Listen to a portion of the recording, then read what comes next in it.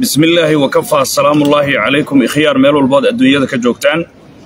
Ku soo dhowaada warbaahintiinnii ku baxowday southern media corporation oo loo soo gaabiya s m c. Mar walbana aad ka heshaan wararka xaqiiqooyinka siyaasadaha isdiidan iyo kuwa is-ogol ee sarasabaynaya geeska afrika.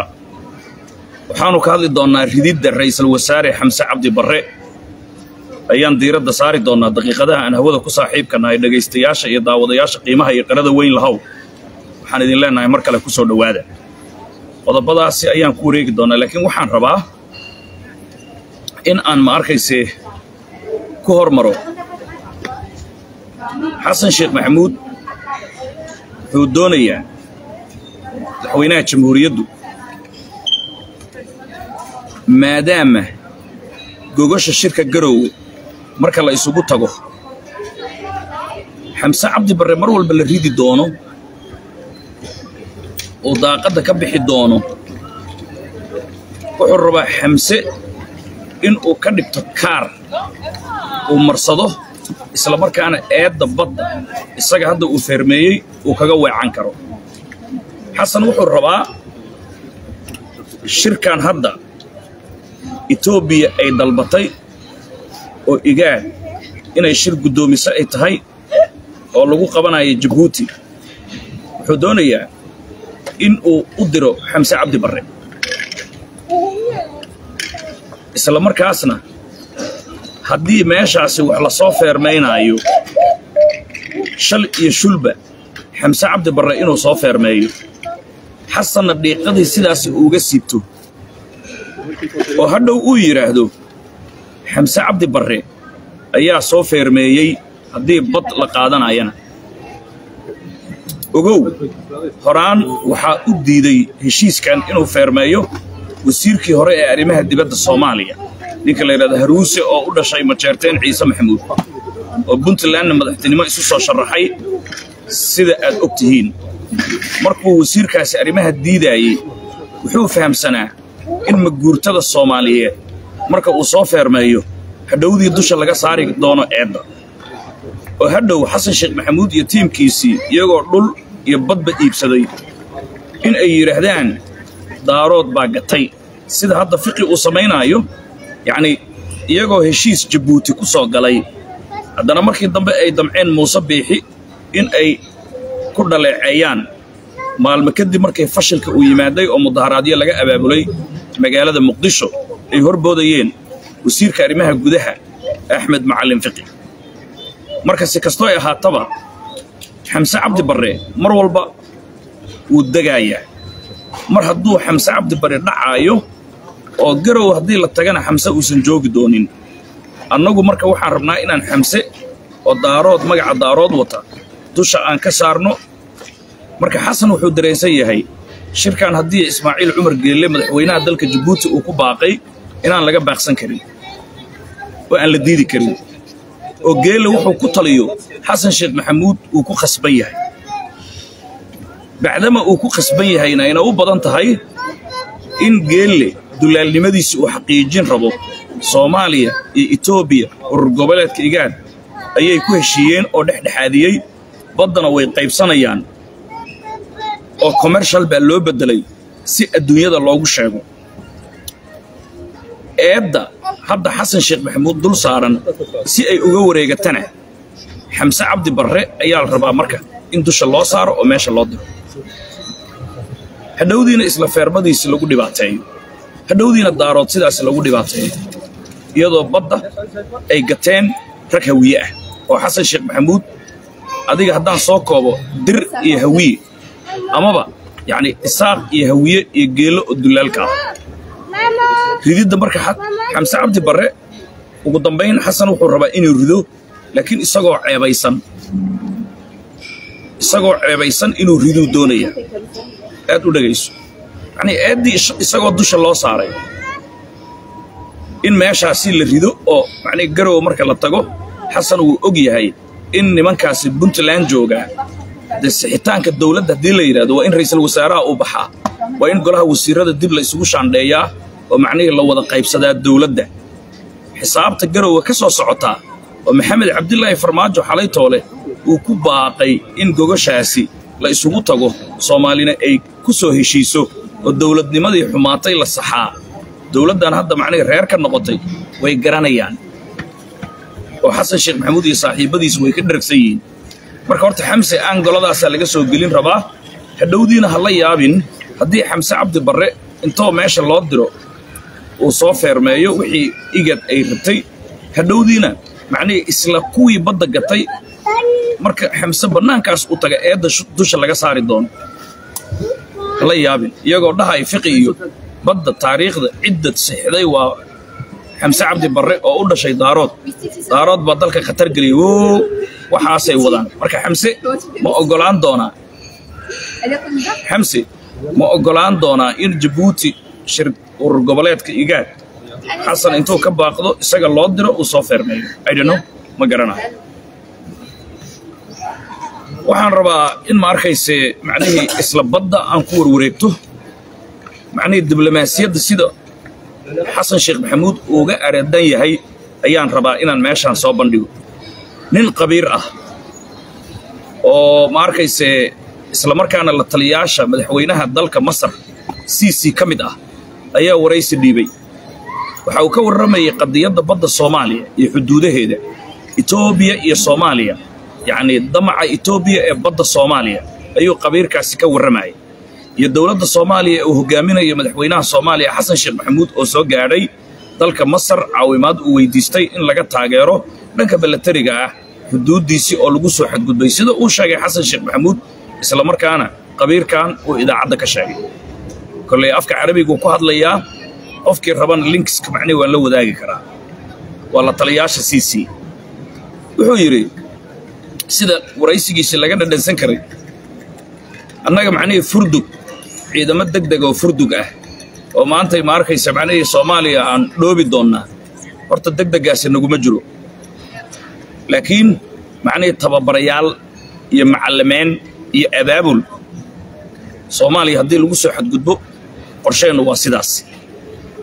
Ama macnihii ee soomaaliya oo dalbanaysa masar ha taageerto si biyaha soomaaliya loo ilaaliyo hadda taasi weyddiin uma baahnuu yidhi. Heshiiskan hadda la galay oo dowladda soomaaliya ay gashay iyo etoobiya waa wax kama jiraan uu yidhi. Ma dhaqangeli karo. Heshiis dhaqangeli kara ma ahan waxay dareemeen marka masaarida xasan sheekh maxamuud oo ka agdhowaanaya etoobiyaanka oo hadda jabuuti ay leedahay gogol baan dhigayaa si hoosaa loo xallinayaa khudbasireed marka hadday afka furatay masar waxay leedahay heshiiskaasi dhaqangal ma noqon karo. Caawimaad in masar la weyddiistana macnihii looma baahna. Masar markii macnihii jaamacadda carabta soomaaliya ay ku soo biiraysay qodob baa jiray jaamacadda carabta ay ku heshiiyeen arab league. Qodobkaasi wuxuu qorayaa haddii waddan ka mida jaamacadda carabta taaka ka mida xuduuddiisii cir dhul bad lagu soo xadgudbo wuxuu dhigayaa dhammaan in ay maarkayse difaacaan oo ay ka hortagaan oo ay u midoobaan af iyo addinba. Marka soomaaliyana waxay ka mid tahay jaamacatul carab. Marka maantay xasan sheekh maxamuud inuu noo yimaado uuna yidhaahdo garabna siiya oo baddeeniya lagu soo xadgudbay. Taasi waa diblomaasiyad aradan waayuu yidhi. Haddiiba soomaaliya baddeeda ciidamo etoobiyaana ma arkayse ay saldhig ka dhigan maagoona yimaadaan? Soomaaliya ama ha weyddiisato ama yaysan weyddiisan weyddiisasho maba looga baahnuu yidhi. No question. It's unquestionable. Macnihii automatic qodobkii jaamacatul carab ay ku heshiisay oo soomaaliyana ay qayb ka tahay ayaa faraaya. Soomaaliya ama ha oggolaato ama yaysan oggolaan ama hana weyddiisato ama yaysanna weyddiisanin waa ka degaynaa wuu yidhi annaga. Waa ka degaynaa waana difaacaynaa waana ka dagaalami karnaa. Marka horta ma arkaysa in nala weyddiisto haddaan jaamacadda carabta nahay ma arkaysa soomaaliya ha loo soo gurmado etoobiya bad ka qaadanaysaa wax jira maahan yidhi. Marka meeshaas waxaan ka aragnaa horta madaxweynaheena soomaaliya inuusan sharciga akhrinin ayaad u malaysaa. Bikaas diblomaasiyadda barashay u baahan tahay. Qabiirkan hadda wuxuu dhulka la dhacay madaxweyne xasan sheekh maxamuud iyo qaabka siyaasaddiisii inuu safro masar uu tago ikaalmeeya uu yidhaahdo taleefon uu diro maba u baahnaba yacnii qodobka jaamacatul markii lagu biiraayey soomaaliya ay ku biiraysay ayaa sidaa faraya horta qodobkaas waan isla fahmay okay. Ama etoob masar maxay dhahday marka? Masar waxay tidhi soomaaliya saldhig milatari iyo bad ma siin karto etoobiya la taliyaha idaacadduu sidaa ka yidhi sabab haddee ma arkaysa macnihii jaamacatul carab ay ku jirtaa. Baddaasna annagoo dhan ay naga dhexaysaa marka annaga indhala'aanaan u imaanayna haddii macnihii xasan xataa uu isku dayo inuu la heshiiyo xasan hadduu isku dayo hadda beryahan meeluhu warwareegayaa hadduu etoobiya iyo abiya oo talyaaniga hadda macnihi ay ku kulansanaayeen oo hadda igaad ay ballansan yihiin haddii xataa ay ku heshiiyaan ma samayn karo. Horta masaarida sidaas ay leedahay. Kollay iyaduna danteeday ka aragtay sharcigana waa sidaas waxaan rabaa inaan u gudbo cabdiraxmaan cabdishakuur warsame cabdiraxmaan cabdishakuur warsame oo waxaan arkay fa'ad yaasiin u jawaabayo xalaan ka hadlay. Kuma dheeraanayo. Haddana waxaan arkay ma arkaysa ayaan dhoweyd. Macnii waxaan arkay isla xalay isagoo difaacaya ismaaciil cumar geelle doraadna ummadda wuxuu u sheegayey badda soomaaliya muuse biixi ma bixin karo waa khaa'inul waddan sidaasuu dhahaya okay laba ma isqabataa marka badda soomaaliya. Muuse biixi baa bixiyey. Ma arkayse macnihii waan weerarayaa muuse biixi kow. Soomaalina waan iska dhigayaa xalaala labo. Waddanina waan iska dhigayaa saddex. Ismaaciil cumar geelle oo waxaanoo dhan uu ka dambeeyeyna waan difaacayaa meel ma isla gashaa.